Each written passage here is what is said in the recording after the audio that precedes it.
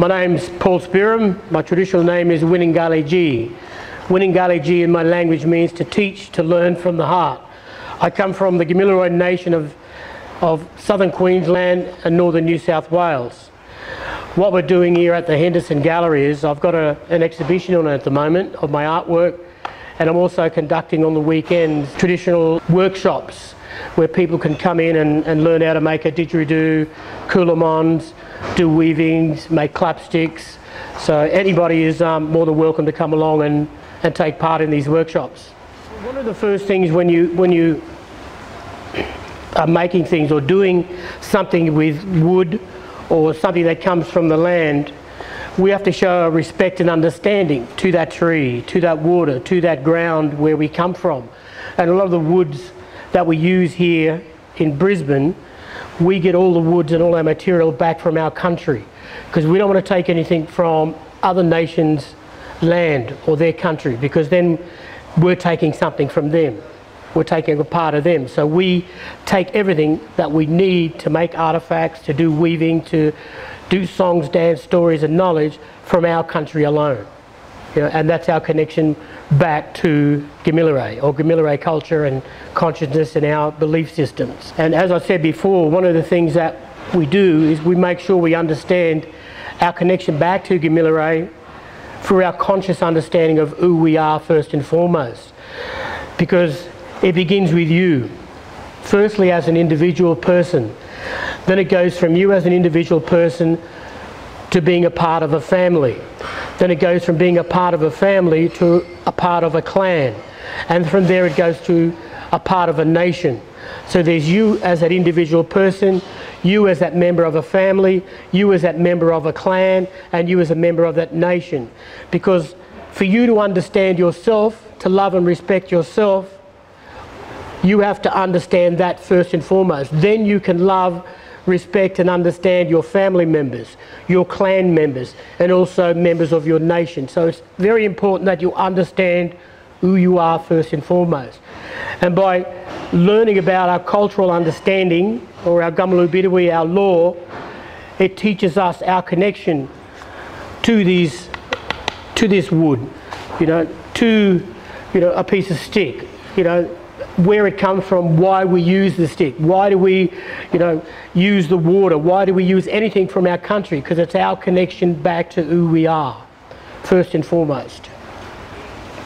Because every single person in this universe has got a cultural or uh, a belief system where they think or they understand that they believe in something that gives them creationism, if you want to use that word. I prefer to use the word Gamalu Bidawee or Diriyah Gamal, our law and our creation, or Burugu, because that teaches me I have a conscious connection to something that is almighty, that is powerful, that has created us as Gamilaroi people. So we have to have that understanding from day one until the day we have gone back to Burugu or back to creation because it's about our understanding again, as I said before, of who we are first and foremost. The didgeridoo does not belong to Gamilaroi people. The didgeridoo comes from the top of Queensland territory and other part, part, parts of Australia. Gamilaroi people were known as wood carvers and you know back in creation time we traded our wood carvings for the use of the didgeridoo and that was traded in good faith as the first diplomats we understood uh, the concept of respect for other nations. So we traded our wood carvings for the permission to use the didgeridoo and we, we accept and use it, but not in our traditional song, dances or ceremonies. We use it as uh, uh, a get-together thing because it does not belong to us. And the way you make a didgeridoo there now is the white ants do all the work.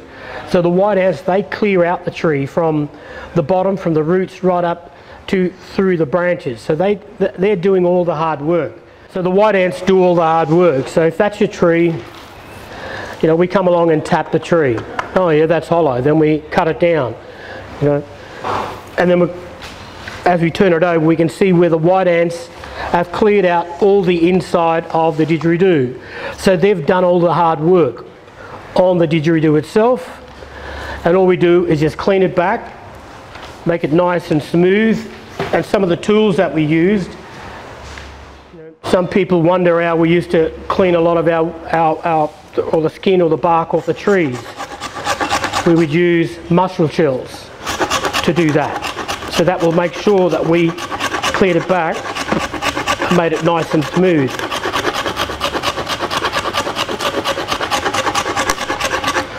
But as I said before, all the hard work is done by the white ants, you know.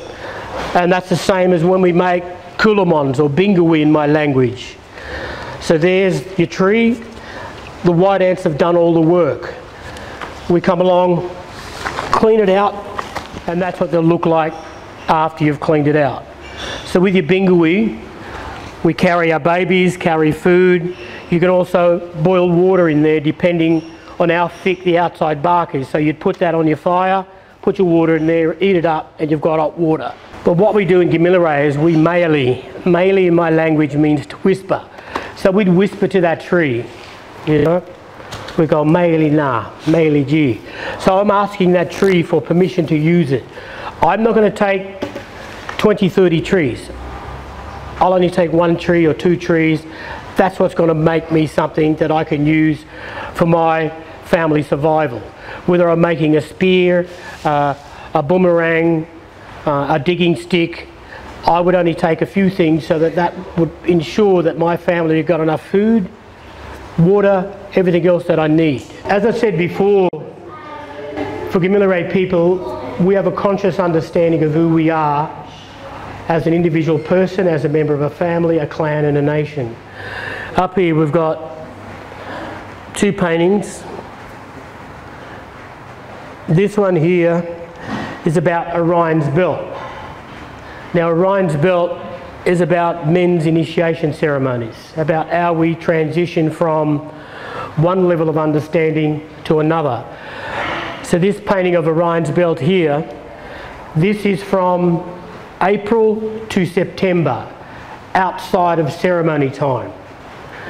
The one up the top here, this is from September through to April.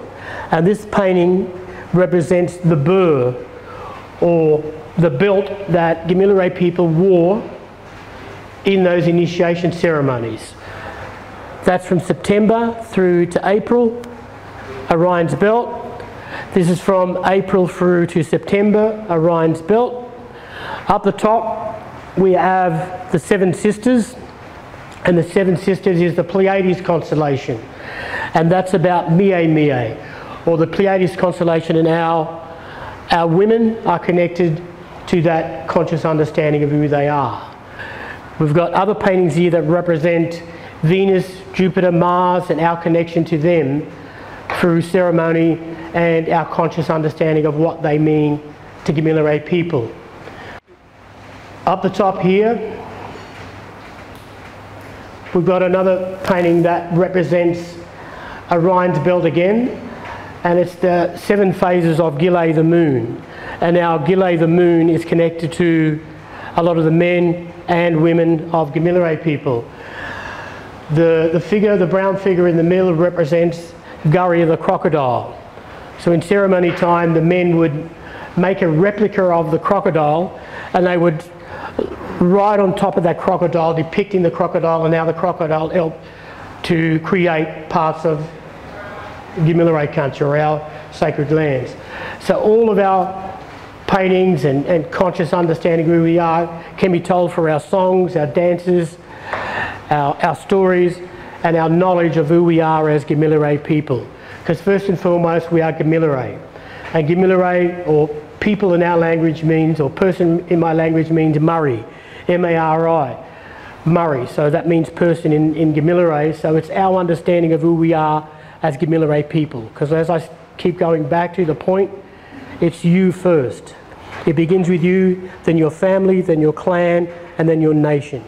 Because for you to have respect and understanding for other people, you have to firstly understand yourself. Thank you. Uh, Yama, hello. My name is uh, Ui Dinawan.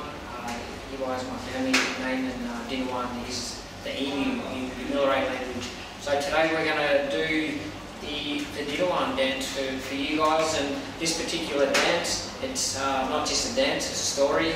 And, it, and it's about the beautiful uh, Dilawan uh, from down home in the Milleray country, which, which is northern New South Wales.